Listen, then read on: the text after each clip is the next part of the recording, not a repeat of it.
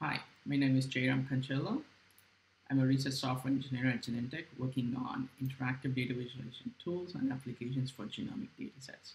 Before I talk about what Kana is, let me provide some background into single-cell data analysis. If you've now worked with single-cell data before, it is a highly iterative and exploratory process. Analysts often choose a number of parameters at each step of the analysis starting from QC, filtering out low express cells, normalization, choosing a clustering method, generating low dimensionality embeddings, finding markers, and any other custom analysis that they want to perform. The choice of parameter at any step of this analysis has a downstream effect on the underlying analysis.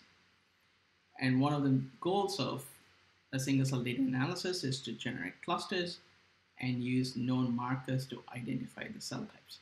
This entire process is highly iterative and exploratory because the choice of parameters affects how many clusters you find and hence uh, identifying the cell types. When analysts usually perform this analysis, they're working in two different environments. Computational environments like R and Bioconductor for processing data, analyzing data, and exploratory environments like web applications for visualizing the results of the analysis. This is also an iterative process where the analyst goes back and forth between these two um, environments, where when you're exploring the results, you're forming hypotheses, and then you go back to a computational environment to statistically verify your hypothesis or reanalyze the dataset. Now the idea here is can we merge these two environments that are often seen together um, that are often separately seen together. Browsers these days are a complex piece of software. They're not just document viewers as they used to be. Several new technologies like WebAssembly allows us to run high performance computations in the browser. And one of the promises of WebAssembly is it can run or provide near native speed for web applications. Others like WebGL the new and upcoming Web GPU and web workers, we can now parallelize and visualize high dimensionality data directly in the browser.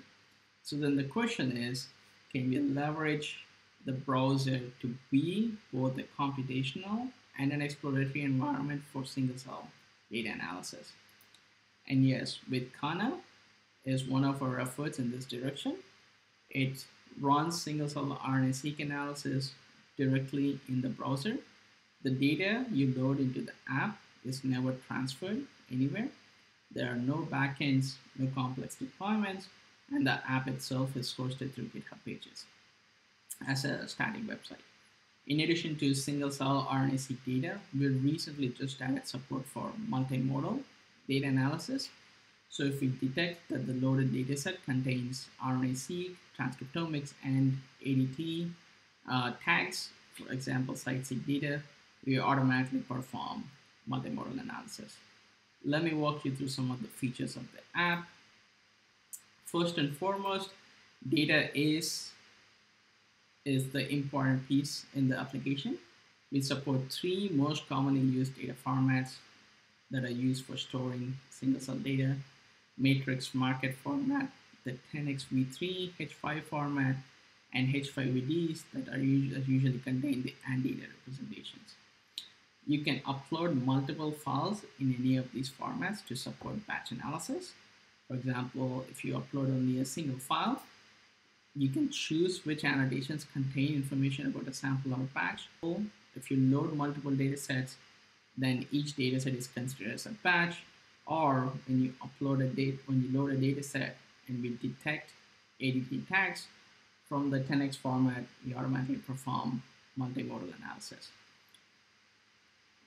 The application is also is written so that it is extensible to custom file formats and any new readers that come up in the future. I'm not going to the details of the analysis itself, but Kana supports and allows users to customize various steps of the single cell analysis. We efficiently perform computations in the browser by using many browser technologies, mostly web workers to parallelize various steps of the analysis, and WebAssembly, where most of the analysis code is written in an underlying C++ library, which was then compiled to WebAssembly. We can run, we can currently run an analysis on a single cell dataset that contains around 190,000 cells in around five minutes and using less than three, around three weeks of memory. A lot of the code that contains the C++ library methods and the WebAssembly bindings are available on GitHub. Um, that's the libscran and the scran.js libraries. When the analysis completes, we progressively visualize we progressively render visualizations to provide feedback to the analyst. For example, quality control.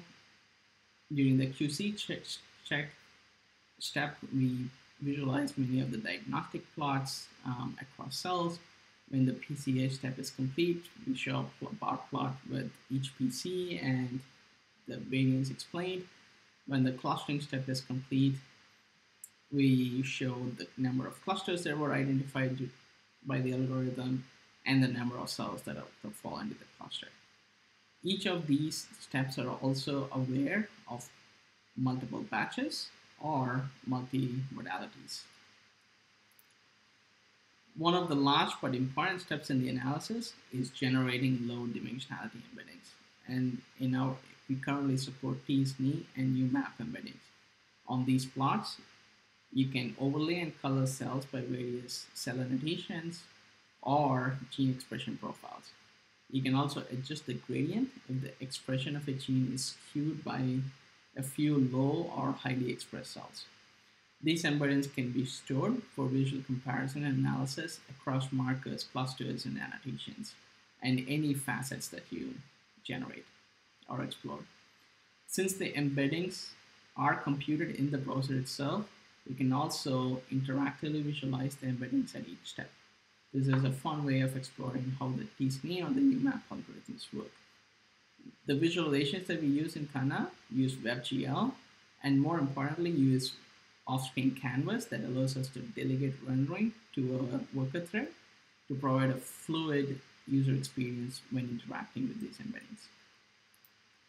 Marker detection is one of the key steps in the analysis users can explore top markers by modality if there are multiple modalities or by clusters that are found during the at the clustering step. You can also filter the markers using various metrics that we compute during the analysis steps and we also provide an overview of a gene expression. We also provide an overview of the distribution of expression across cells for a particular gene or a marker within this cluster versus all the other cells. Not only markers are generated for analysis derived clusters, but they can also be computed for custom user selections. Analysts can use the lasso tool and make a custom selection of cells. And once the selection is saved, Kana automatically performs marker detection within this selection. Kana supports iterative analysis, it uses a DAG internally to define the order and dependencies between each analysis step. The results of each analysis step are also cached so that we're not recomputing the same step multiple times. If an analyst would like to change any of the parameters and reanalyze the dataset, we first identify what analysis steps need to be computed based on the changes and we use the stored results in the cache as much as possible, hence efficiently performing computations. If the analyst wants to store an analysis state, we provide options to either store it to the browser directly.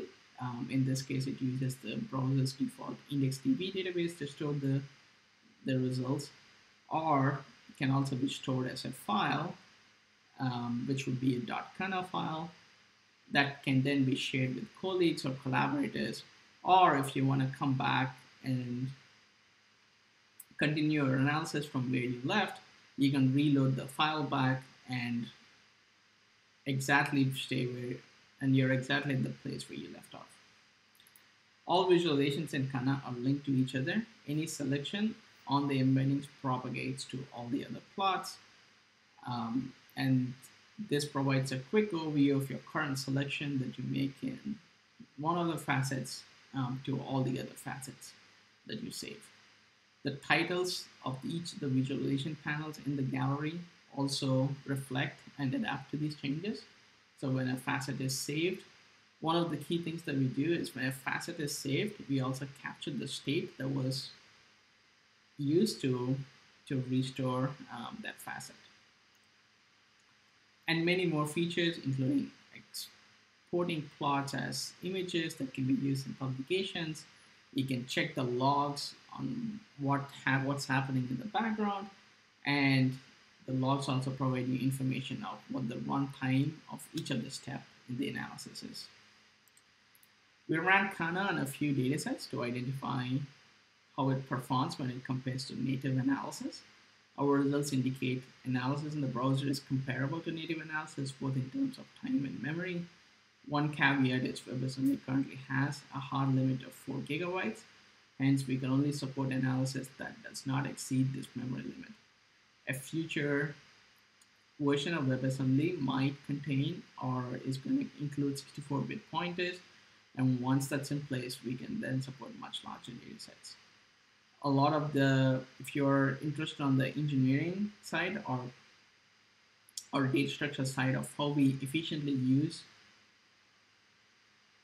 data structures to represent sparse matrices or do any of the steps of the analysis, it is all documented in our bioRxiv paper, and I have a link on that in this slide.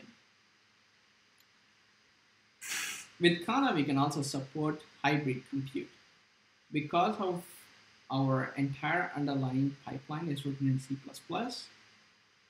we can reuse the same code across languages and frameworks.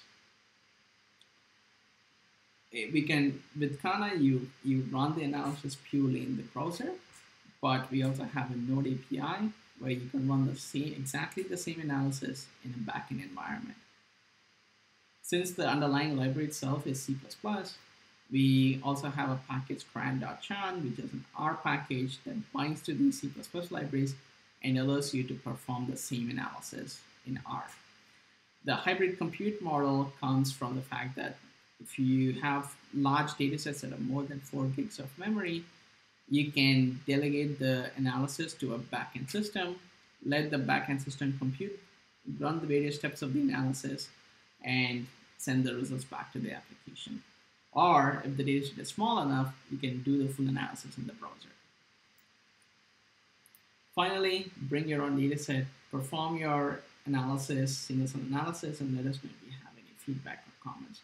It was a lot of fun learning about various new technologies and trying to understand how to build a high performance and pure client side compute applications that have no backend dependencies. Um, our entire application is hosted on GitHub pages and the code and all the underlying libraries that support the entire ecosystem are also open source.